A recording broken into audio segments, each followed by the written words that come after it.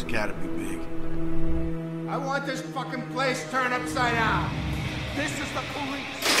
What kind of We're gonna break it down. In position on the sixth floor. Over. I've been told this guy is highly trained. He's not gonna be waltzing in through any of the doors.